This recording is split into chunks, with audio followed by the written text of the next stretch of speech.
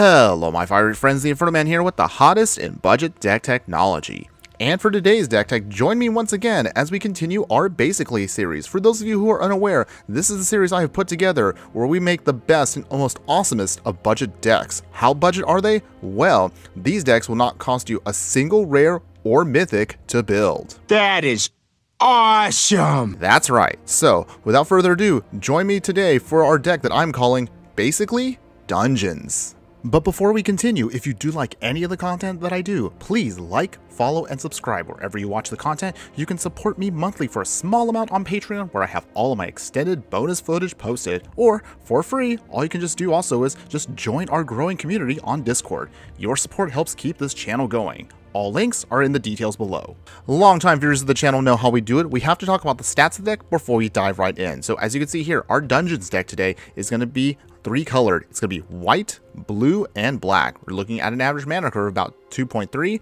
You will have total 12 creatures, 13 instants, 6 sorceries, 5 artifacts, 3 enchantments, and 24 lands. This dungeon deck, as you'll see, is going to be mostly a mid-range pile, mixed in with a bit of a control aspect to it, so it is going to be a lot more slower than previous other deck decks we've done, and also you'll notice that there's not much consistency here, but there has to be a reason for that, which I'll explain in just a little bit. So to begin, starting in the 3-drop slot, we will begin with Cloister Gargoyle here. It's an artifact creature gargoyle that just simply says when it enters, you venture into a dungeon, and as long as you've completed a dungeon, the gargoyle will get plus 3 plus 0 and has flying. Once we get our payoff by completing a dungeon, a lot of our creatures will do a lot more with their abilities. However, Cloister Gargoyle also allows us to then explain the dungeon mechanic. For those of you that were not around when Dungeons & Dragons Adventures in the Forgotten Realms was added to Arena and Magic in general, here's basically how it works. Once you venture into a dungeon, which is the ability we're triggering, you'll then be able to pick from one of three dungeons that you can see off to the side right here,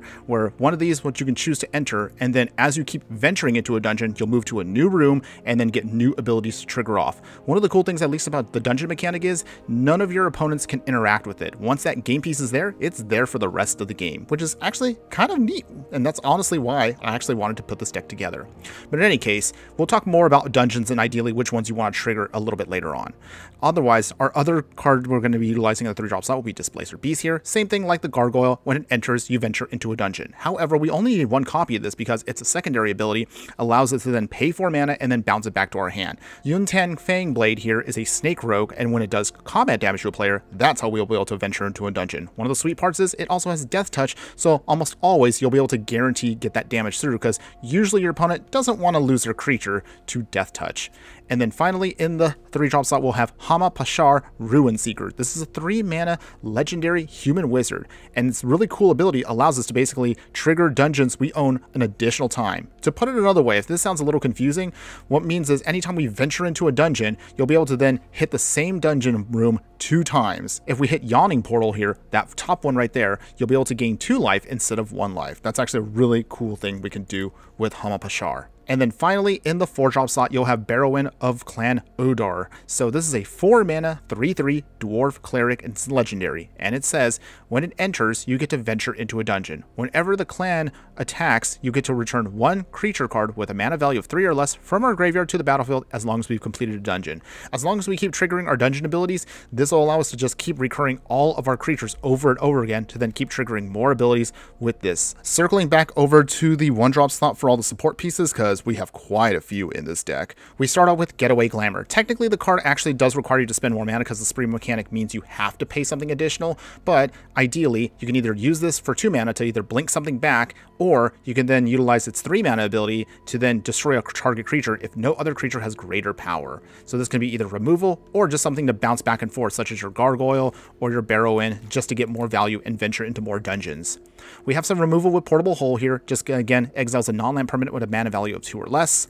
Requisition right here, same thing like the spree mechanic underneath Getaway Glamour. It technically does cost more mana than it actually reads. However, you can then choose what you want to. It's either be Artifact, Enchantment Hate, or even both. Or you can put a plus one plus one counter on each of our creatures we control. We have a single copy of Fly here. This also will help us just get a little bit more out of our dungeons as long as we can put it on a creature. It does give it flying, so that means it will be evasive, which is great for us. But just remember that, again, we don't want to rely on this too much. So because we only have a handful of creatures, just one copy is all we need. Metamorphic Blast here is another spree mechanic as you can see here, but it's also really great and really flexible for what it does. At instant speed, you can either pay for 2 mana and then turn any one of your opponent's creatures into a white rabbit with a toughness of 0-1, basically just getting even the biggest threats out of the way for us, or for 4 mana, we can then just draw some extra cards. Spell Pierce here is going to be one of your small, but again effective counterspells in the early part of the game. Bloodchief's Thirst, again, it may be a little slower than, say, utilizing, oh, I don't know, Fatal Push, but we want the flexibility in this deck, so that's why we're going to choose that over Fatal Push instead. Going into the 2-drop slot, you'll have a little bit more support with Sunset Revelry. Again, only one copy is all you need, but this just helps us just kind of stabilize depending on how your opponent is doing versus us. You either get another card if they have more cards than you, you can get some human tokens on the battlefield if they have more creatures than you, or you can gain more life if they have more life than you. You also have a copy of You Come to a River. This is mostly going to be used for the bounce mechanic, or we can make one of our creatures unblockable until end of turn. Bitter Triumph is a little bit more of a stronger removal option here for us. We may either have to pay 3 life, or you can discard a card to destroy a target creature or planeswalker. Fate's Reversal, since we only have 12 creatures in the deck, we only need 3 copies of this, but this allows us to bring back one of our creature cards from our graveyard to our hand, and allows us to trigger, again, another dungeon. Dovin's Veto here, only a single copy of this, but this is just all you need just to get rid of maybe one of those key cards that just has to be dealt with on the battlefield. And again, because it's uncounterable, we had to have at least one of those just to help us out with our game plan. Faithful Mending here, same thing, another single copy of this, allows us to basically just draw two cards, gain some life, and discard two cards. The flash back ability will be great in the mid to late game. And then in the 3 drop slot here, Bar the Gate may seem very narrow because it can only counter a creature or planeswalker spell, but you'll be surprised at how well you can actually utilize this when you need it to, and also again, it helps us just trigger off more dungeon venturing. You'll have a copy of You Find the Villain's Lair. Depending on again how your games go, you can actually swap in an extra copy of this and replace Bar the Gate or vice versa. It really just depends on again how you want to play it. But again, same thing, single copy. You can either use it to counter a spell or then just loot by drawing two cards and discarding two cards.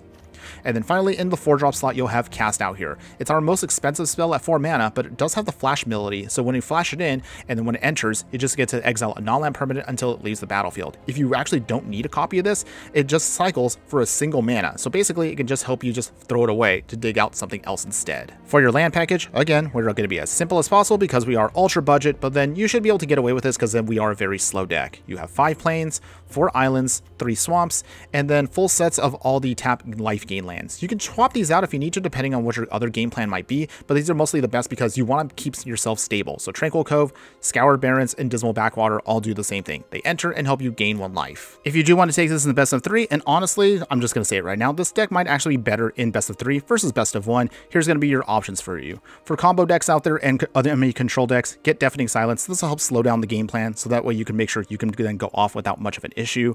A copy of Sheoldred's Edict here for more select options when it comes to singular control decks out there that use one or two threats to then get rid of them. Copies of Elspeth Nightmare here, again, just more removal, but also this will help us then discard a card with our secondary Saga ability, and it'll provide an exiling effect for the graveyard.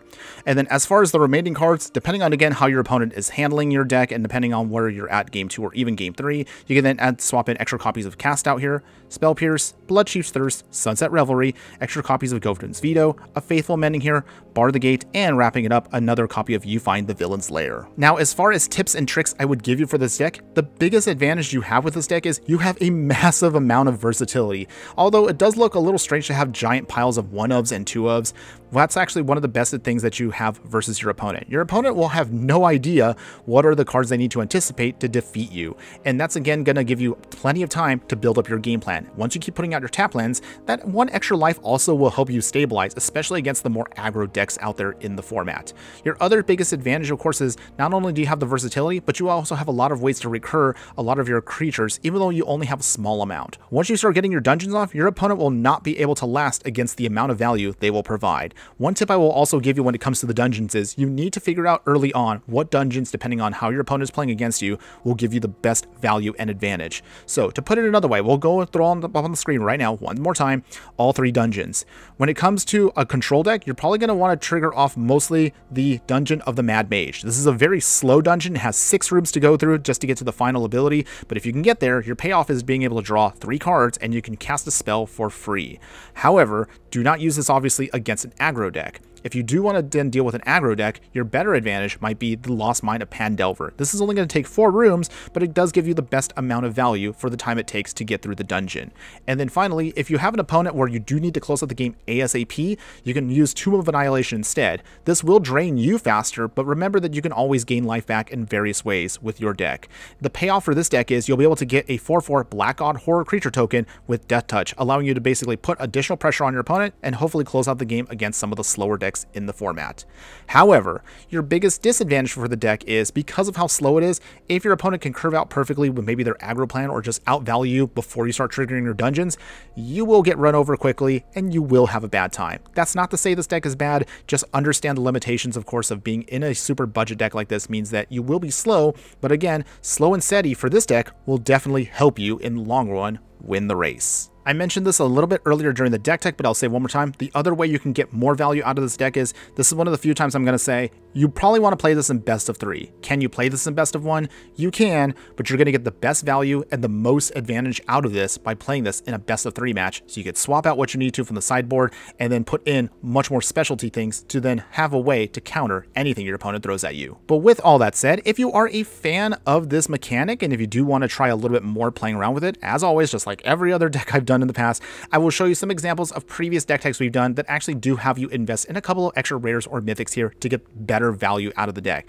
If you're a fan of control decks out there or just piles like this, definitely check out what we have above and I'll of course leave links in the details below and throughout the video. But my only other final thoughts I want to give on the deck is this. Honestly, I originally started with a control package for these three colors, but we've already kind of done a control deck and I want to try to provide as much variety and differentiation between each of these ultra budget decks. So no matter what kind of player you you are, you'll have a wide diversity of decks that you can pick from, which is why we decided to invest in dungeons. I'm actually a big fan of the dungeon mechanic myself, but I understand that even on an ultra budget, it can be very difficult to pull off. However, if you're still a fan of the mechanic, if you are a fan of control or mid-range, and if you're a fan of getting extra value out of mechanics that are very unique, I would definitely say give this deck a try. And I assure you, when you manage to then take control of the board, you'll have a lot of fun doing so. You'll be very surprised at how much value dungeons can provide.